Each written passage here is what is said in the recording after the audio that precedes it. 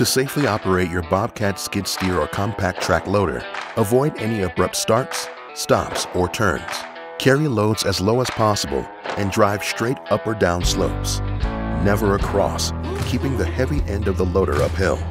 When exiting the loader, always lower the lift arms, place the attachment flat on the ground and stop the engine.